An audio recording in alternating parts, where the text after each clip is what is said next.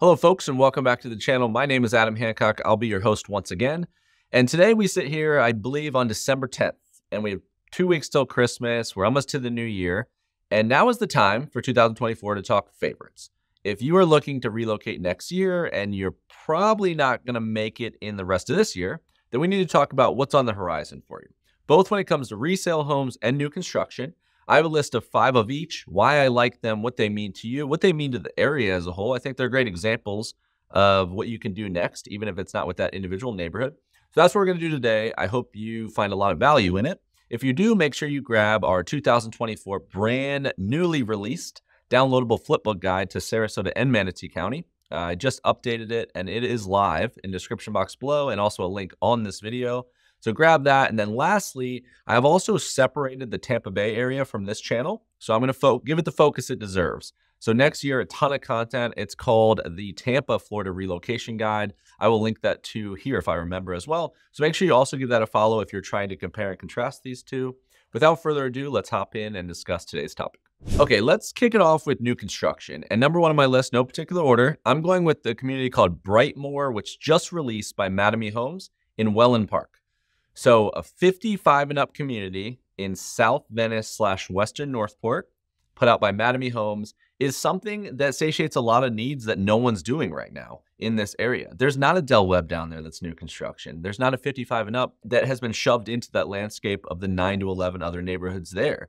And for those reasons, as well as Mattamy being the builder, I think this might be one of the fastest selling, if not the fastest selling community that exists um, in the next three to six months. It's going to go gangbusters. It's got amenities in a area that amenities were kind of not a lot of the Wellen Park new stuff in the Playmore district was zero or no amenities with HOAs, and they were pointing at the town as being the amenity.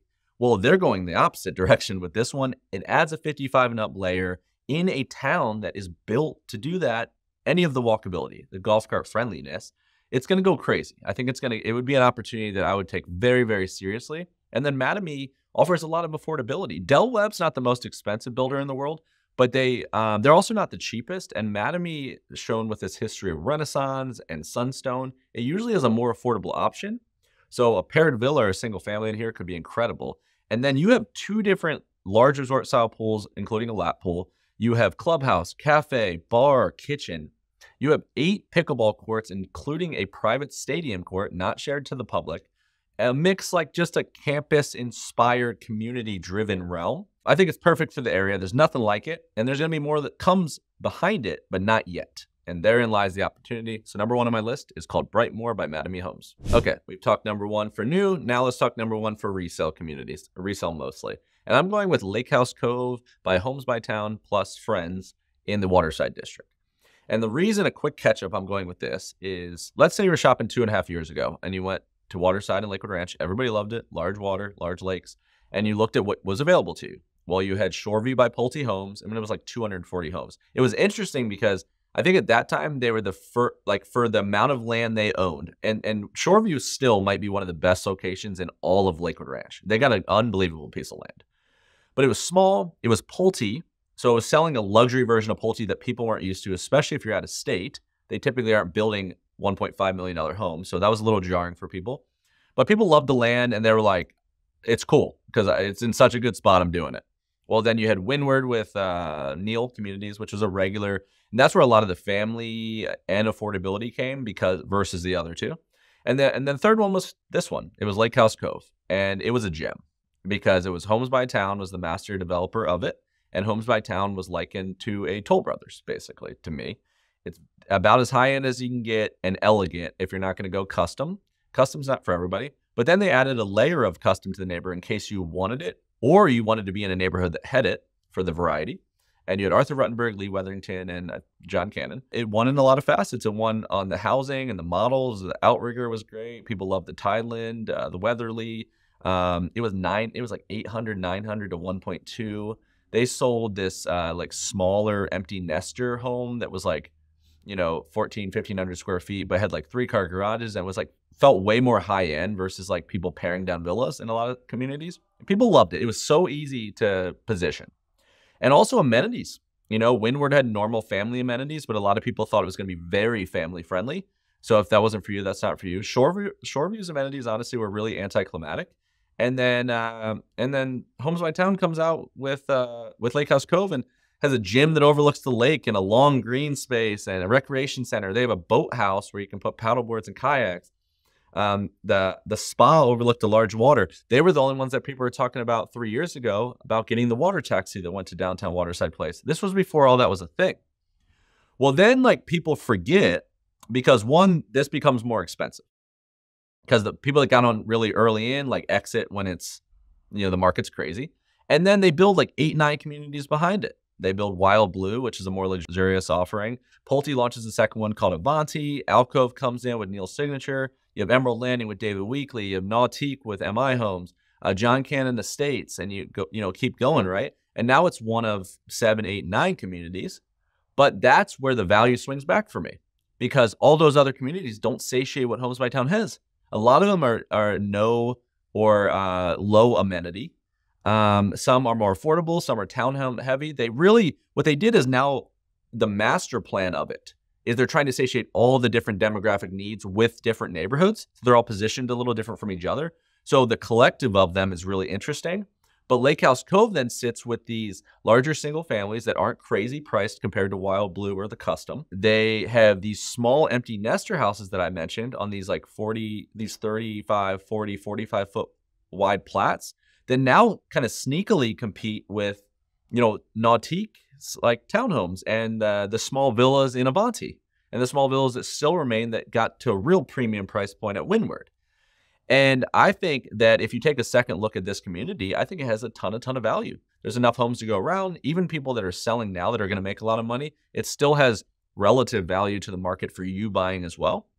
And in a normal market now, I think it's 100% worth the second look. And what's going to happen next is only going to help that value. Okay, my second community, number two, when it comes to the new construction, is on the back of what I just spoke about. And that is Homes by Towne's newest offering that there's not a lot of information on the internet about it, but it's called Shellstone. It's also going to be in Waterside and it's master planned by Homes by Towne. So think about the value I just explained um, and have similar but newer models, Homes by Towne. It's a different location, probably upgraded amenities. I would guess price point here is going to start like really all in around that million dollar mark, which would make sense but that's what they were selling at three years ago too. So that's not terrible. And location is going to be interesting. So what you have here, I'll try to show on a map. I don't have one in front of me, but what you have here is most of uh, Waterside was built on Lorraine Road runs north to south, right? Just like Lakewood Ranch Boulevard, just like the interstate. So um, you had uh, all of Waterside really built on one side of Lorraine. They were all hugging just north to south. Well, Wild Blue was the first one that went on the other side of Lorraine. So again, it's just across the street, but there's also big water on that side that you couldn't see. It's below Libby's, below the Isles, but above Fruitville. And uh, Wild Blue is already a thing, right? I think 500 homes. It's uh, really interesting. It's luxurious, but it's interesting. It's like if you, the Lake Club doesn't work. This would be the closest to it, but probably higher end eventually with the amenities. And you have stock development, Lake Club, um, you have John Cannon, you have Lee Wetherington, same guys, right? Arthur Rutenberg, and you also have uh, Anchor, which is surprising, but really wide lots. Well, it's on a big lake with it's going to have unbelievable luxury condo level amenities. Well, the under it on the same lake is Shellstone. So that's what's going to be interesting. It's uh, so you could take the homes by towne concept and you could say, okay, if I could buy both and all was even, what should I hedge my bets upon? But you can probably use the homes by towne Lakehouse Cove as a good example of an education process for what this is going to be. And then use a little bit of Wild Blues juxtaposition. This gets a little closer to Fruitville. It's going to be an interesting offering. So keep Shellstone, Homes by Towne in Waterside and Lakewood Ranch, mouthful, on your radar. Okay, my second community on this side when it comes to resales, I'm going old school locals, local Sarasota opinion. And I'm going to go with Misty Creek. I'm not sure if you've heard of Misty Creek, but it is a great example of one of the fa my favorite parts of this area in, in totality, and the community itself is special on its own outright. So Misty Creek is located below Artistry, above Grand Park, central Sarasota, parallel to the Siesta Key area. So that area is very important because uh, you have access to everything. You go slightly north on DeBrecken and Palmer, great way to get there, uh, to uh, Waterside and all that Lakewood Ranch has to offer, even Fruitville Commons. You go south, it's Venice. The important part here is you go west and you have beaches downtown Sarasota, and that's where a lot of the other real master plan stuff start to get a little dicey. But Misty Creek itself, just over 300 homes. You have a beautiful golf course, but not required golf. And this is where you're going to get the lower HOA, old school, larger lots, spread out wide, old school Sarasota, Florida homes before the times when they just basically platted them in. This isn't 15 feet from your neighbors. It's going to be spread out. Now, the challenge here is the renovation of the home, the age of when it was built, like what the previous owner did, like any resale conversation. But the more and more development gets wild in Sarasota, Manatee counties, the more and more I believe that going slightly east of I 75 and being south of University and north of exit 200, the Venice exit, um, is only going to get better because you can't replicate um, geography. All right, on to number three when it comes to new communities, and this is a 10 birds, one stone situation. I'm going with a community called Vistera. That's a mixed builder community in North Venice, Florida. So on the surface level, Vistera adds new master plan, three builders. So you can pick between MI Homes, David Weekley is going down there, and Neal. And Neal is also the land developer. So that's great. Normal amenities as well. So you're going to have resort style pool, fitness center, club, kind of the normal things you'd expect. Um, beyond that, affordability and uniqueness of home variety. So a lot to satiate most people's needs. You know, you go from the 40 ish foot front planes, carriage style, like rear garages in a lot of these, which is cool. And then you go up to like the 60 something foot. So you can get that 2,900 3,100 square foot on a single story that looks pleasant, has a large patio, that kind of thing. That's all normal. That's stuff that Sarasota kind of has now, but it's where they put it that I find real special. So I've been beating this drum for the last couple months kind of hard now, and this is in North Venice parallel to Nokomis. And if you look at the two gaps we have right now in the market, is people starting Lakewood Ranch, they go down to Wellen Park, new master plan, new master plan. On fringes, it's the in between that's the gap right now. In between those two, you had Palmer Ranch, old school, but central Sarasota, east, and north of Venice, south of Sarasota, kind of a gap. Spotty construction, right? Artistry, Sky Ranch, Grand Park, Promenade Estate sneaks in there. In Venice, you have Aria, Vicenza, Silo, uh, Toscana Isles, Talon Preserve, unrelated to each other though. But what's happening now is this one's going in that area, and you start to combine this thing, you stretch east to west. How is this not Palmer Ranch to the south. It's the same thing, right? So then they're going to add the communal amenities that people leave their neighborhoods to attend. They're going to add a lagoon there. I heard there's another 55 and up coming there. When that's all combined, right, you snuck backwards into a Lakewood Ranch. It just didn't feel as intentional because there wasn't, you know, a lakewoodranch.com that you could go to and lay this thing out because they were done in silos because of the land arrangements. But I think getting in this area is an incredible thing to look at, right? Because you go south one, you're you're closer to the water innately if you're in this part of the state. It gets narrow, but you got Nokomis Beach with a boardwalk right there. You got Venice Island, downtown Venice, has Venice Beach, Caspersen, Shark's Tooth capital of the world, and Brohard Beach, the only dog beach in the county. You go slightly north, you have Casey Key, the bottom of Siesta Key, which has three beaches on it, Crescent, Turtle, Siesta Key. Uh, downtown Sarasota is not that far. And then, you know, you're probably 35 minutes one way to Waterside and all that Lakewood Ranch has to offer. And when then Sarasota's built out more, they're going to put stuff east of the interstate there too. So you're going to have everything you need. You're going to not have to be like, I'm down in Venice because it's cheaper than Sarasota, but I go to Sarasota all the time. You're going to have a Costco. You're going to have hospitals that are already there. You're going to have work, live, play. And uh, that can all exist where this neighborhood exists. And I think this is just the uh, tip of the iceberg. Okay, now number three on the resale community side, we're going to go back to Lakewood Ranch and talk about a community that gives you kind of the best of the original school and the best of the new school, and that's Lakewood Ranch Golf and Country Club. There's a couple things going on here, but one is when Lakewood Ranch was originally built, they had Summerfield, Greenbrook, State Road 70. They had uh, the River Club and uh, downtown Lakewood Ranch, uh, these shopping centers that were built upon University. It was all in the area of where the neighborhoods were. The Lakewood Ranch Golf and Country Club was in that conversation. They started building in 1995, and a lot was built from 95 to 2005, and they were all built in these these particular areas. Well, when they added new development, for the most part, they did not go north. They went south and they went west. So Waterside was added below University. So right, that's a commonality, University Parkway. And then and University Parkway is a northern Fruitville. So you got to go east to west to get to town. Can't go north to south to it. So, and then University Town Center with the Bendersons development also went on University, hence the name. Center Point, the new development, also where Owens Fish Camp went, also on University. So Lakewood Ranch Golf and Country Club sits in an area that spans from University and then Lakewood Ranch Boulevard, Lorraine Road, and they could shoot slightly north to downtown Lakewood Ranch, the original, down to Waterside, south, uh, over to UTC. They put a Libby's on the corner. There's Publix every time you turn around. And it just fell backwards into an amazing location that combined what originally was the plan and what the new plan added to it. And it's hard to replicate. The reason you'd end up here instead of the Lake Club or the Isles or one of these surrounding communities is three golf courses, two clubhouses, tons of social membership options, and um, it gives you variety. And if you're a golfer, especially, um, and they're all the three golf courses inside are private, and there's one on the outside that's public. But if you're a golfer, um, you don't have a 400 options there. You have Esplanade Golf and Country Club by Taylor Morrison, the original, not Azario, north.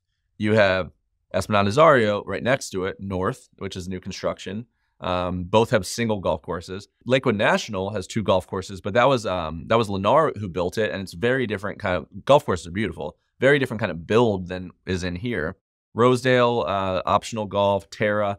There's not a ton, a ton of options. So this one really falls into like uh, quality builds. They were the original guys: Arthur Rutenberg, Lee Wetherington, John Cannon, all those original luxury builders. It's just their 20 year old version of it. But I think, again, this is becoming more of a geography conversation. They can always go north, they can always go south, they can always go east. But you can't always be in an area that has access to everything but the beach. And this happens to be one of those. Okay, my fourth community when it comes to the new construction side, we're going back down to Venice in Wellen Park, and it's a community called Everly. And the reason I put this on my list, amongst the many reasons you could, is because it solves another very important need that this area did not solve well until right now. And that is luxury.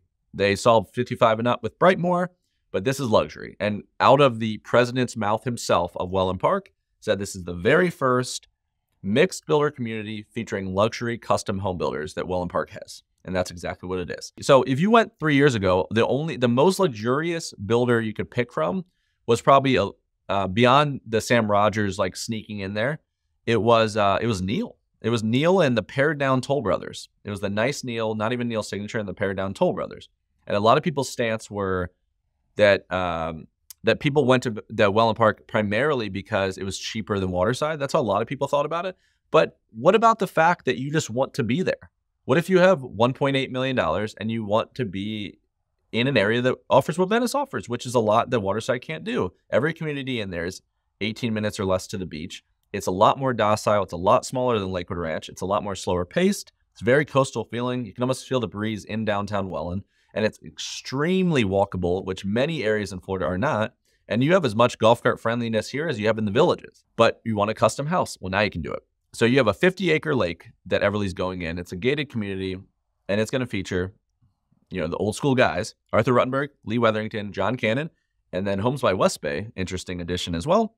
Uh, large lots, um, multiple floor plans to pick from, lovely amenities, access to pickleball, and access to a chip and putt facility, which is interesting. Um, but that's what it does here. It's everything Wellen Park offers in a more luxurious fashion. It's going to come at a premium, but in perspective to the double counties of what it typically has come at, I think the water is going to be cheaper. The options of lots, as far as all the lots aren't designated to exact builders that pre-purchase them, it's going to be more pick my lot, pick my builder community and some other cool things along those lines. So if that sounds like you, Everly is a good one to look at. Okay, my fourth option when it comes to resales, I want to go another unique old school one, and that's a community called the Lakes. This might have not been on your radar if you're from out of state either, but this is the same idea of central proximity, old school Sarasota, 190-ish homes, uh, 2,000 to 4,000 square feet. This is the old school, um, large, sprawling single families. You can get up to like a half acre here, I think, on most. There's villas. There's a couple different sections of it, enclaves of it, but it's directly parallel to um, the Siesta Key downtown Sarasota area. So up to Fruitville Commons and Waterside Place, down to Venice, over to um, Siesta Key, Lido, downtown Sarasota, all that area has to offer. And uh, just a good one to research in a conversation of juxtaposition against the same new construction in central Sarasota. If you feel like it's too much of a stretch for you to go too far south to Venice or too far north to Lakewood Ranch. Okay, my fifth and final one when it comes to new construction in Sarasota for 2024, I'm going with the tried and true of Esplanade Azario by Taylor Morrison in Northeast Lakewood Ranch. This is one that uh, still to this day, there's not been a bunch of stuff that come behind it that I thought devalued it. Uh, granted, they got very hairy in pricing of all the models compared to what they were in 2020. Some rightfully so, some little, you know, little, little bit of a stretch. But they've swung back to more normal than they were, and it still doesn't take away the gem of this community always was. All the favor it was in originally, it was for a reason. Some of the best amenities in both counties combined, unbelievable aesthetic to the community. It is beautiful end to end. 1,500 homes, half deeded golf, half not, beautiful golf course. And it's a place you don't really need to leave. It's got multiple pools, it has pickleball, it's got everything you need. And if you like new construction right now, and let's talk about models for a second, just to park that. Um, if you're going to build from 20, I've said this a bunch of times in the past, if you're going to build from 2250 square feet to 3100, Taylor Morrison has some of the most elegant floor plans I've ever seen for the price point. The way the Lazio, some like the Farnese, but the, more the way the Lazio to me and the way the Palazzo are oriented, it's the perfect use of space for a four bedroom, two and a half bath with a loft or with a, um, a large office. Uh, the back patios, they sit on 62 foot plats. So with the extensions and everything, you have these beautiful, but like just perfectly sized for the price homes if you don't want to do custom. It's still true, right? And you catch a resale that's a Lincoln or a Beacon. Um, really interesting value. They have some of the most unbelievable views and lots in this place because of the golf course, which adds to the golf course just helps where even if you're not a golfer, uh, there's not as much room to back into your neighbor or any of that nonsense. So you can overlook both fairways and parts of golf courses and that in addition to lakes versus a community that only has lakes. I still think Esplanade Azario is in there. I would take a second look at it. Now you got to navigate it. It has to make sense for you. Your neighbor community of Esplanade Country Club, which was the original, is another option for you as well. But if you want new golf right now, I don't know what else you do. I mean, you could go Wellen Park Golf and Country Club that's in Venice, but that's Lennar. Lakewood National is done. There was supposed to be another Lakewood National golf course that was like a junior, but I heard shades of gray that might not be released. But there's just not a ton of options in Lakewood for new construction and golf in totality. Um, so I think this one should be on the list. Okay, our fifth and final one when it comes to resale communities, and our tenth and final one when it comes to our 2024 list is a community that encapsulates everything that makes everything about this list special in history, and it's called Cherokee Park. We're talking not just individual value, we're talking overall value to the state, to the country, to the world. Sarasota historically was constructed in, an, in a way where all the value existed in one area. And that's what made John Ringling want to be here, all his friends want to be here. And it was all the stuff that's special. It's the urban districts, the beaches, the bay, the coast, what makes the geography, old school real estate special. And when you're in Sarasota, all the value in the whole town was constructed off of how close you were to the stuff. And the good thing about this area is once you go west, you got everything because west is water. So downtown is three miles one way from Lido Beach, which is uh, next to St. Armand Circle, which is a really high end cosmopolitan shopping district which is just below uh, Longboat Key, seven mile long, world class beach, just below eventually Anna Maria Island. And then south of that area is Siesta Key, which is on everybody's radar. Also, seven to eight miles long, has three beaches on it. All the value really clusters on the north side of the island because those two other beaches, a lot of people don't aren't even aware of them. But the Siesta Key Village, the shopping district, the second one, and Siesta Key, the main beach of how everybody thinks about it with the quartz white sand, doesn't get hot to the touch. It's all north on the island. Well, and then downtown is inland. So the thing about these coasts is they're barrier islands. You're either on the beach or you're not. And if you're on the beach or you're not, they're both a commitment in their own outright. You got to be on one and go to the other. If you're on the beach, it's a commitment. It's awesome, but it's a commitment. You're there. When you're there, you're there. interesting thing about barrier islands, where a lot of times, because it's beach to bay, Gulf to bay, you have land in between them. So there is a strip of land that is in between downtown and the beaches. You're not on either. You look to the right, downtown, you look to the left, you're on the beaches. And and then there's also an area in that land, as I digress here, that it has the perfect access to the functionality of it. It's not close to water, it's close to functional water. If you're not near the bridge, but you're near the water, how do you get to it? You know, unless you're on it, unless you live on the, like you have like hydraulic lift in a boat or any of that, right? So you need access. Like, how do you actually get there? And there is a very special part that's in the middle of this area I call a magical triangle, where you have you're the furthest you can get to the water without being on it inland in residential neighborhoods. And it's called west of the trail, but not just west of the trail. It's west of the trail, south of south of Lido Beach, north of Siesta Key. And that's where Cherokee Park exists, right? Stone's throw to downtown, like less than a mile. You shoot up your Aledo Beach, you have all that shopping and Longboat Key, and you shoot down your Siesta Key, and you're right next to all the bridges. And the magic of all of that is that's not high rise condos. These are old school, large, non HOA lots that people have built homes on. You have these old school, charming, kind of like higher end version of uh, St. Pete neighborhoods. Amazing school district with Southside, with access to everything you could want, right? So it it it's just like value. It's hard to describe for me. It's hard to articulate, but I can't harp it enough. Of like, if you had to put one spot on a map in Florida, this is right up there. And then Cherokee Park's a gem. Beautiful, really wide streets, brick, beautiful homes. It falls into the water, and you could throw McClellan Park and Bayview in that conversation as well. I think Granada's kind of underrated as well. But that's right, some of uh, Cherokee Park. Obviously, you don't say all of this and it comes at a discount. But if you could navigate that and you could look at that, then I think that's an amazing representation of uh, why everyone falls in love with Sarasota, Florida. All right, my friends, that's a wrap for my 10 favorite neighborhoods for 2024 from what I know now.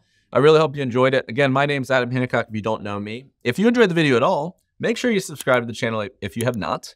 Uh, we're going to put out more value than I've ever done, I think, in 2024. I really want to help you guys navigate this market the best I can. Um, as well as that, if you haven't downloaded the 2024 updated Flipbook digital guide, it's completely free to Sarasota, Manatee County. Make sure you get your hands on that. We'll have links everywhere. Um, if my team can help you buy, sell, and or investing, even a conversation around the entire state of Florida, but especially Sarasota, Manatee counties, please consider reaching out. Really unique team. We have the experts of the experts in every little category. People from here like me, people that love downtown, people that have live and breathe Lakewood Ranch, have done everything you want to do three years before you. We can match it perfectly. We probably have someone on our team that is coming from your town, um, regardless of where you move, that's on our team now that already did it. So we really try to match make it. It's a special, special organization. So please consider reaching out if that's applicable to you. And anything else I can do for you, we would love to assist. Thank you guys so much for watching today's video. We'll see you on the next one.